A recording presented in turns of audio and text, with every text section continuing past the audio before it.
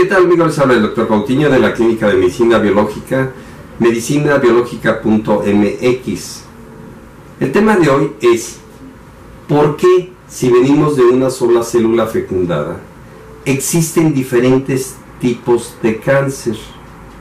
Porque hay cáncer de mama, de próstata, de hígado, de riñón, si es la misma célula y tiene la misma información genética. De eso vamos a hablar el día de hoy.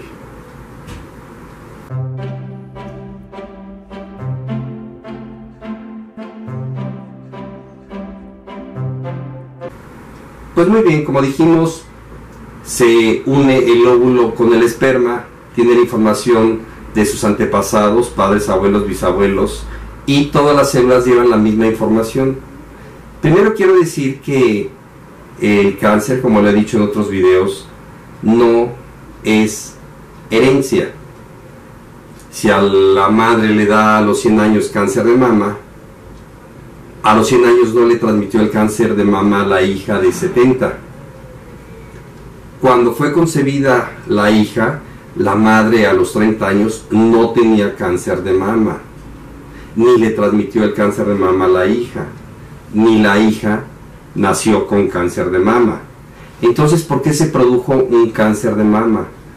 ¿Por qué se produce un cáncer de pulmón? Si todas las células son iguales, nada más de diferente forma y con diferente función. La nueva medicina germánica nos explica perfectamente por qué se produce el cáncer. Es una cuestión de una respuesta biológica.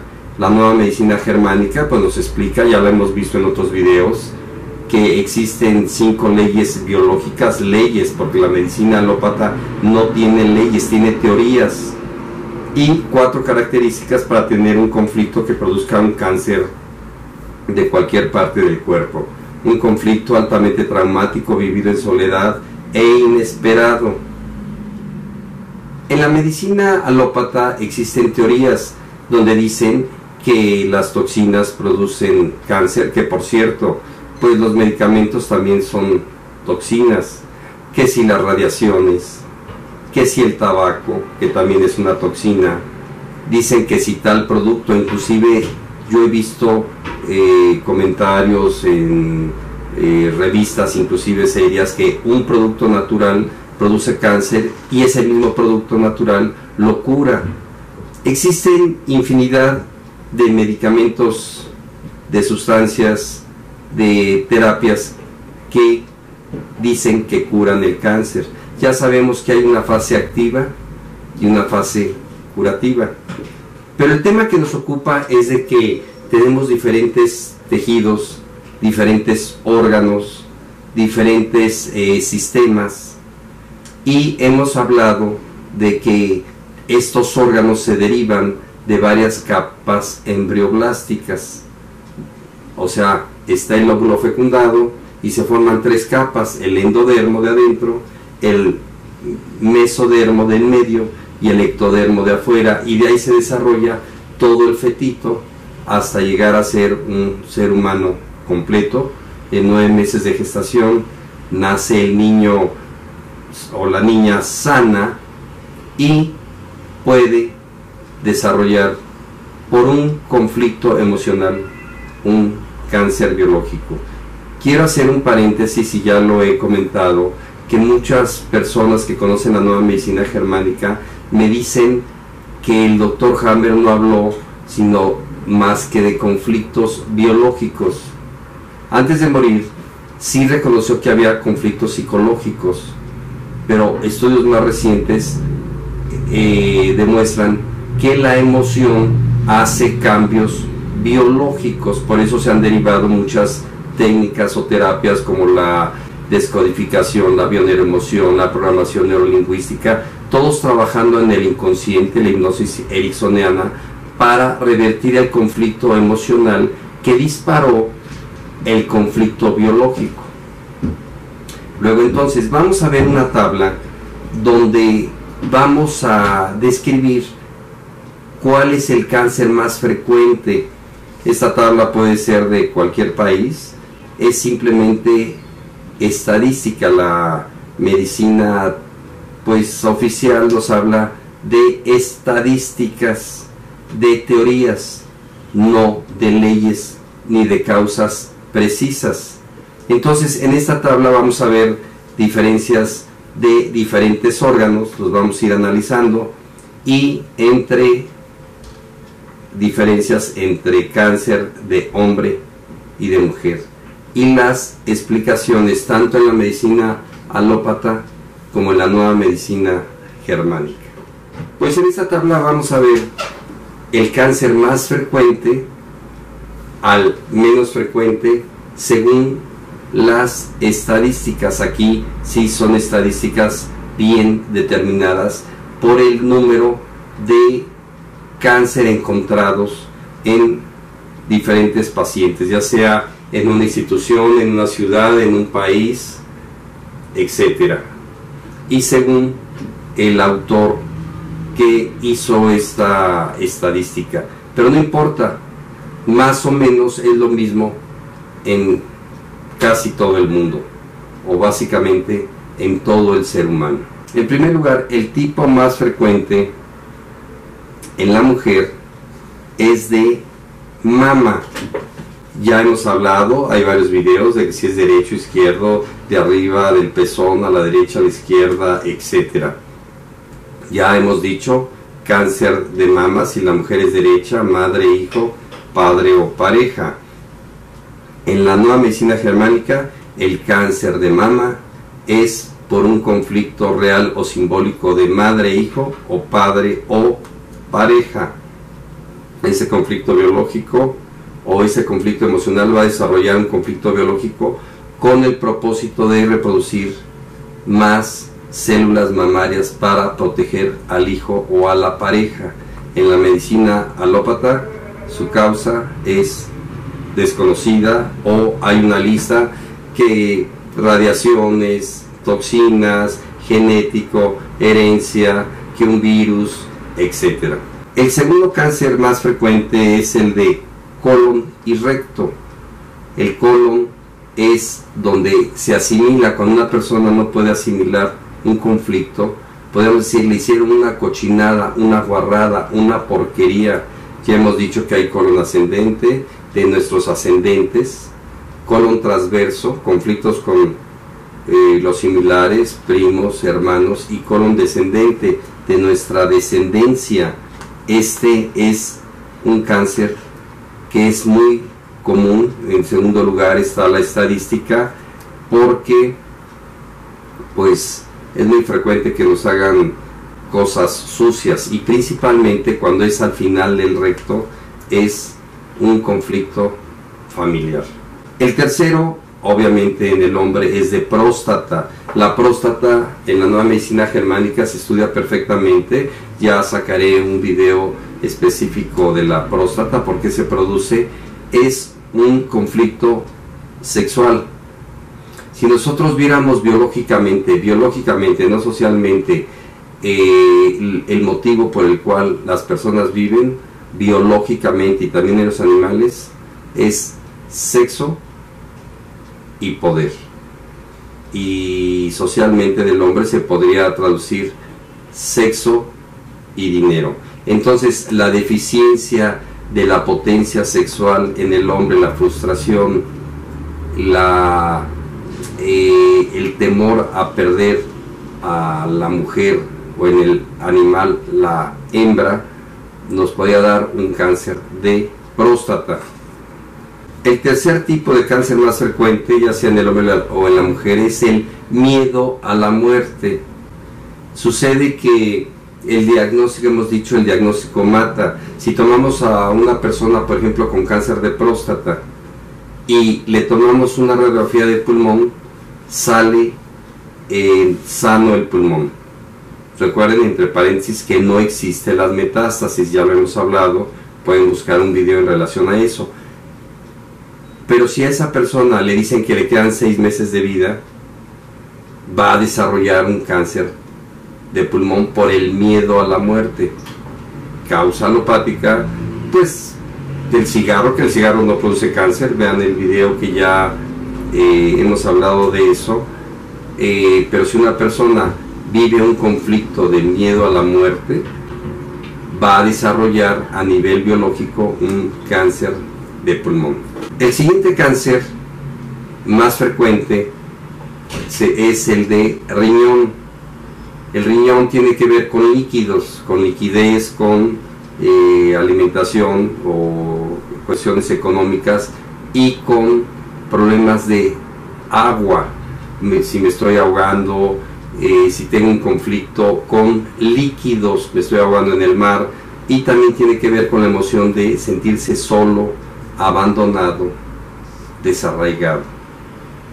Alopáticamente, pues es como todos los cánceres, son puras teorías. Ustedes pregúntenle a su médico si tienen cáncer, ¿cuál es la causa que me produjo el cáncer? Les va a contestar de origen desconocido, idiopático, eh, genético, herencia, tóxico, radiaciones, etcétera, etcétera. El siguiente más frecuente es el de páncreas. El páncreas tiene que ver con enzimas para la producción o para la digestión del alimento. Cuando el alimento, en este caso real o simbólico, no puede ser digerido, el típico caso que pone el doctor Hammer es un bocado que ya se tiene, una herencia, y que se la quitan, se la roban, la pierde. Entonces, a nivel imaginario no hay enzimas para digerir ese conflicto emocional y va a desarrollar un cáncer de páncreas. El siguiente en la mujer es el de cervix, el del cuello uterino. Aquí pues tiene que ver con, comparado con el hombre, con el cáncer de próstata del hombre en el cervix es no soy poseída por el hombre o como dice Hammer por el macho porque también se comparan con eh, los animales al no ser poseída se va a originar un desarrollo, una ulceración en el cuello de la matriz para ensanchar la vagina para a nivel inconsciente poder atraer al macho. Recuerden que todo esto es inconsciente y biológico. Es un conflicto, el cervix, conflicto sexual, femenino obviamente. El siguiente en orden descendente es el estómago. El estómago sirve para digerir. No puedo digerir esta situación, la pérdida económica, la pérdida de la casa, la pérdida del trabajo, la pérdida de un ser querido, etc. No puedo digerir esta situación. La vejiga, la vejiga tiene que ver con el marcaje del territorio. Cuando una persona no puede marcar su territorio, el jefe que no puede tener autoridad sobre sus subordinados, el presidente que no puede llevar bien un país, la eh, suegra que se mete en la casa y invade el territorio, eh, la empleada que pues tiene que vender para ganarse una comisión y llega otra empleada y le roba o le quita a los clientes, va a haber problemas de vejiga. Es no puedo marcar el territorio. El siguiente es la tiroides. Cáncer de tiroides. Recuerden que la tiroides tiene que ver con el tiempo. Un hipertiroidismo es tengo que actuar rápido, un hipotiroidismo tengo que actuar lentamente cuando el conflicto es muy grande, puede dar desde un aumento en la función o hasta un cáncer o una disminución en la función o un tumor. Ya hemos hablado y hay video del eh, cáncer de tiroides. El siguiente es linfoma. No vamos ahorita a diferenciar linfoma Hodgkin o Hodgkin, pero el linfoma tiene que ver con conflictos de desvalorización los músculos, los huesos y los ganglios linfáticos son los que al estar desvalorizado causan cáncer.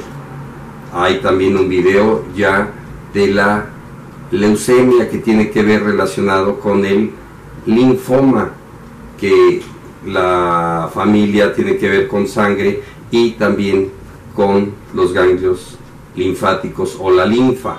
Encéfalo y sistema nervioso central Recuerden que no hay cáncer de cerebro, son tumores, son los focos de Hammer que se confunden con tumores porque toman tomografías, radiografías, ultrasonidos, etcétera, y aparecen o aparentan ser tumores, pero son tumores de células no de las neuronas, sino de células que envuelven, que se llaman glio, por eso se llaman gliosarcomas. Es decir, esto quiere decir que hay prendido un foco de Hammer canceroso que está ocasionando otro conflicto en el cuerpo. Leucemias, que ya platicamos un poco y existe un video de las leucemias. Las leucemias, repito, tienen que ver con desvalorización de familia, glóbulos rojos, es una carga de mi familia, tengo que mantener a muchas personas o a mis padres que son ancianos, glóbulos blancos, no puedo defender a mi familia, son las defensas, los glóbulos blancos, y las plaquetas, no puedo unir a mi familia. El útero, el útero es la casa del bebé, es muy común aquí que se den muchos conflictos, ya sea porque no se puede tener un hijo y da miomas que no son cancerígenos o cancerosos, eh, pero también frustraciones por los hijos, conflicto biológico emocional. El hígado, el hígado es el órgano de la economía, ahí se acumula eh, reservas de la glucosa, que es el azúcar, glucógeno, ahí se metabolizan las grasas, etcétera, que tiene que ver también con la cuestión de economía. Si no tengo dinero, pues no tengo posibilidad de comer y por lo tanto va a crecer el hígado y puede llegar, si el conflicto es muy grande, a darme un cáncer del hígado. Dicen que es por el alcohol, pero si fuera por eso, ya lo hemos platicado, pues todos los países estarían llenos de pacientes con cáncer de hígado. Ovario, en la mujer, en el ovario, pues es el símil al testículo. Cuando hay una pérdida de un ser querido en la mujer, el cerebro lo que hace es formar un quiste de ovario y si el conflicto es más grande por esa pérdida va a terminar dando un cáncer de ovario. Esófago. El esófago sirve para tragar, para llevar a digerir el alimento cuando yo no trago alguna situación emocional, biológica, la muerte del familiar, el divorcio, el asalto, el ejemplo típico que pongo que se metió la suegra, etcétera, va a haber eh, desde reflujo, varices esofágicas o hasta un cáncer de esófago. Alopáticamente, vuelvo a repetir, cuál es la causa, de origen desconocido, herencia, todo lo que hemos platicado. Y la tabla termina en otros, cualquier parte del cuerpo, ya sea la piel, ya sean eh, pues eh, otros órganos como el vaso, o cáncer en algún órgano como el ojo, eh, la nariz, la lengua, las mucosas, etc. Pero es por eso que es más frecuente, porque es más probable este tipo de conflictos que vive el ser humano que otro tipo de conflictos. Es decir, conflictos de miedo a la muerte, conflicto de pérdida de algún ser querido, etcétera, son los más importantes conflictos sexuales de próstata, de pulmón, de hígado por la economía, etc. Y hay otros, como la piel, que son menos frecuentes, que son como conflictos de separación. Un cáncer en el oído, pues es no quiero escuchar o lo que escuché no me gustó, un cáncer aquí en la nariz, pues sería algo huele mal o no quiero oler este conflicto. En fin, más o menos espero que en este video se haya visto por qué son más frecuentes un tipo de tumores que otro tipo de tumores y todas las células tienen la misma información genética, pero sus conflictos obviamente son totalmente diferentes. Y recuerden que el doctor Jaime nos habla del colorido del conflicto, cómo lo vivió, qué pasó, qué sintió en el momento del shock emocional. Muy bien amigos, les habló el doctor Cautiña de la Clínica de Medicina Biológica, medicinabiológica.mx. Nos vemos en el siguiente video.